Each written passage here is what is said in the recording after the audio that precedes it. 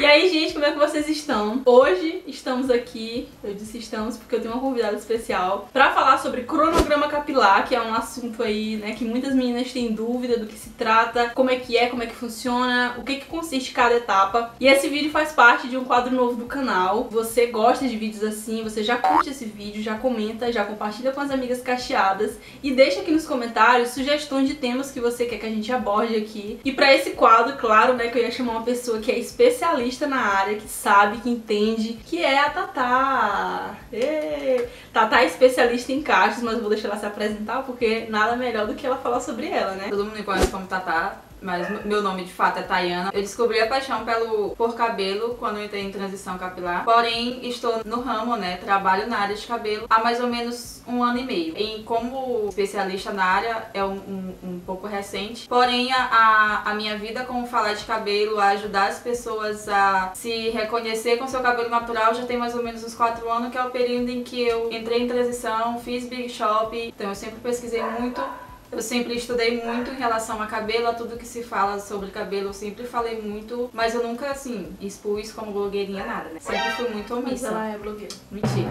Sempre fui muito omissa em relação a essa parte. Eu tive a oportunidade de trabalhar no salão e lá eu, eu pude conhecer, aprender muito mais e de lá pra frente eu não parei mais como profissional. Venho sempre estudando, me aperfeiçoando, conhecendo pessoas novas, conhecendo tudo muito novo, porque todo dia a gente aprende muito com cada pessoa que aparece, com cada história que a gente vê. Então, é, eu tô muito feliz de ela estar tá fazendo parte desse quadro aqui. Eu tá fazendo parte também desse quadro com ela, porque uhum. ela também vai postar na rede social Salão Clube do Cacho. Então lá vai ter muito conteúdo. Então, se você é aqui do canal e gosta de conteúdo de cabelo e quer saber sobre como realmente você cuidar do seu cabelo de uma forma tá correta, né? Do ponto de vista de um especialista, segue elas, Clube do Cacho. Você vai ver muita coisa. Então, se você for de São Luís, melhor ainda, porque você pode ter a oportunidade de conhecer o salão. Então é isso, gente. Vamos começar esse vídeo. Não se esqueça de curtir o vídeo aqui, de comentar, de compartilhar com as amigas. Compartilha porque... muito compartilha bastante, porque isso ajuda muito e incentiva a gente a trazer mais conteúdos assim aqui para as nossas redes. Então, o cronograma capilar ele é uma rotina de cuidados. Você vai incluir produtos, itens naturais, tipo mel, para que você dê saúde ao seu cabelo e, e, beleza, né? No caso do nosso cabelo, a saúde não é só o que você vê aqui fora, a saúde vem de dentro de fato. A gente fala assim, muita gente fala, ah, tem que beber água, tem que beber água. Um cabelo hidratado não é só aquele cabelo hidratado que você faz a hidratação. Você precisa se hidratar para que essa hidratação que está dentro do seu organismo ele seja exposta diretamente no seu cabelo.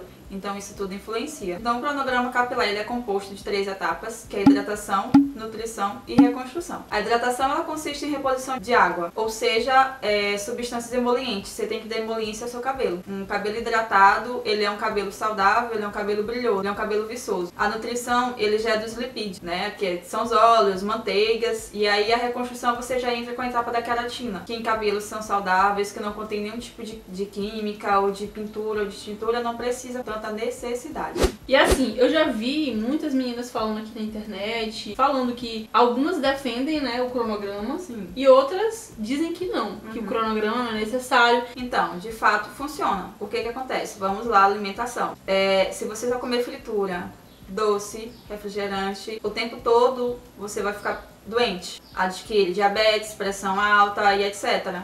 A mesma coisa é com o cabelo. Se você só lavar com shampoo e condicionador e encharcar de creme, o cabelo vai ficar doente, vai ficar opaco, vai ficar ressecado, vai ficar cheio de frizz. Então o cabelo, nosso cabelo já é morto, né, de fato. Nosso cabelo não tem vida, ele não se regenera. Então se você não, não inclui alguns nutrientes no seu cabelo é, de forma externa com produto, esse cabelo ele vai morrer de fato, mais do que ele já é morto. Então ele vai, não tem como você ressuscitar. Então assim, funciona assim. Só que, o que que acontece? Na internet tem vários cronogramas montados. Segunda, quarta, sexta. Segunda hidratação, terça nutrição, quarta reconstrução você não sabe se aquele cronograma vai ser adequado para o seu tipo de cabelo. Então o que a gente sempre fala é: conheça o seu cabelo, conheça as necessidades do seu cabelo para você montar o seu cronograma. O cronograma não é algo universal. Uhum. O cronograma é algo que é só seu. Quem tem cabelo descolorido é, e é muito danificado, esse cabelo precisa de reconstrução pelo menos de, a cada 15 dias. A importância do enluvamento dos fios no momento da, do tratamento. Tem tanta relevância assim? Tem, tem sim.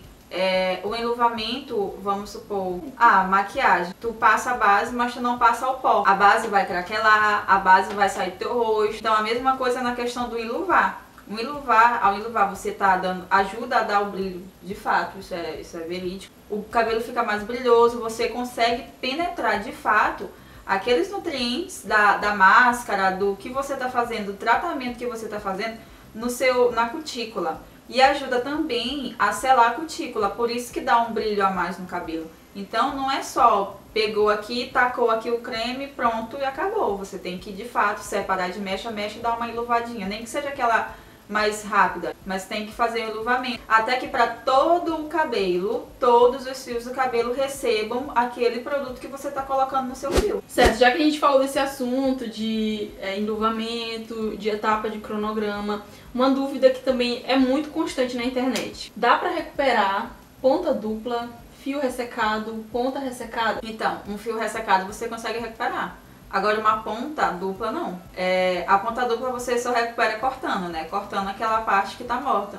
Porque já é um, uma ponta no resto do cabelo, vamos dizer assim, que tá danificado. E sim, aí sim. a ponta não tem como, como eu já falei, ele não, o cabelo é um fio morto, ele não se regenera. Então não tem como colar de forma natural aquela pontinha que se abriu. É aquele cabelo que se abriu, que se quebrou. Então não tem como. Já que a gente entrou nesse assunto, né, de ponta dupla, é outra coisa assim que é uma dúvida minha é a questão do nozinho de fada. Eu tenho muito nó de fada. Muito não, exagero. Eu tenho eu tenho eu tenho nó de fada. E eu sou uma pessoa que eu não consigo ver um nó de fada e ficar quieta. Eu quebro. E eu percebi que isso gera ponta dupla. É, porque você quebra o seu cabelo e aí aquela, aquele cabelo ele se danifica. Você quebra a estrutura do seu cabelo, então cria ponta dupla. Outra questão que faça com que dê ponta dupla é excesso de calor. Quem usa muita chapinha, as pessoas que mais se reclamam de pontas duplas é quem usa química e faz muita chapinha, ou quem tem cabelo natural e faz muita chapinha. Tem uma opção de fazer é um corte bordado que você faz é, elimina as pontas duplas. Uhum. É, é, feito com uma máquina específica, não é qualquer forma, não é de qualquer jeito, não é com qualquer máquina. E pra finalizar esse vídeo com chave de ouro, a pergunta que não quer calar. Colocar a mão dentro do creme prejudica a máscara? Faz mal? Você tem que analisar que não é só o colocar a mão no creme. Tem todos os outros fatores, tem a questão do armazenamento, onde você armazena esse produto, o que que você coloca dentro, se é só a mão mesmo, se tá limpa, se não tá limpa, se tá suja de outro produto, questão de umidade, deixar no banheiro não pode de, de jeito nenhum. A questão do banheiro é por conta da umidade, das bactérias, né, que tem no banheiro. Então tem que ter uma certa cautela não só com colocar a mão dentro, mas também, ah, eu uso um negócio de plástico. Onde que você guarda esse negócio de plástico? Você lava esse negócio de plástico que você usa? O que a gente estava conversando aqui antes. Às vezes as pessoas se prendem muito uhum. a uma informação. Se rotulam, né? Fica rotulado aquilo. Tanto é, as pessoas baterem nessa tecla, é, as pessoas acreditam, acreditam até porque não tá, de fato não tá errado 100%, uhum. mas elas esquecem do resto, né? Sim. Que não é só apenas isso, é um conjunto de coisas. Outro mito, né? Que a gente vê muitas pessoas pessoas falarem é em como você amarra o cabelo para fazer hidratação. O cabelo ficar aqui não pode, o cabelo tem mito, isso é mito de fato, não tem comprovação nenhuma de que se você deixar seu cabelo aqui embaixo, o nutriente vai agir mais do que se deixar em cima.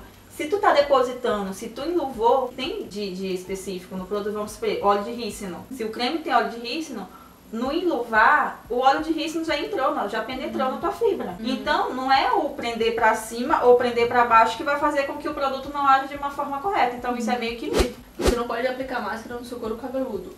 Se a gente amarrar para cima, não vai pegar no couro cabeludo? É, o que vai interferir em relação ao acúmulo de produto ou não é a quantidade que tu coloca que tu deposita no couro cabeludo. Vamos supor que tu começa a fazer o tratamento, tu pega essa mecha. Tu joga todo aqui em cima e aí tu vem puxando. E isso é o, acumula, né, o produto no cabelo. Então, a forma correta de colocar, depositar a máscara no cabelo é da metade do cabelo para baixo e vai enluvando e subindo.